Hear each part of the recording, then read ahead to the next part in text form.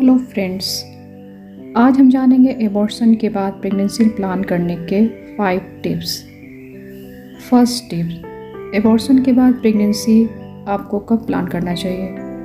आपको प्रेगनेंसी कम से कम तीन महीने के बाद, नहीं तो छः महीने के बाद प्लान करना चाहिए। अगर आप प्रेगनेंसी प्लान कर रहे हैं तो पॉलिक एसिड सप्लीमेंट लेना शुरू कर दें।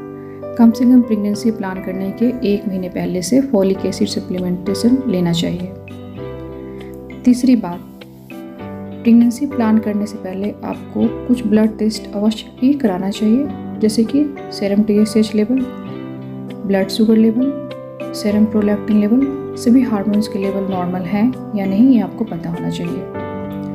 अगर आपका वज़न ज़्यादा है तो आप अपना वज़न भी कम करें प्रेगनेंसी प्लान करने से पहले। पांचवी बात यह है कि अगर आप बहुत अधिक चिंता करते हैं तो अंडे स्ट्रेस को अवॉइड करें और योगा एंड मेडिटेशन करें। इसके साथ साथ आपको हेल्दी वेजिटेबल्स खाने चाहिए हेल्दी फ़ूड खाने चाहिए जंक फ़ूड नहीं खाना चाहिए।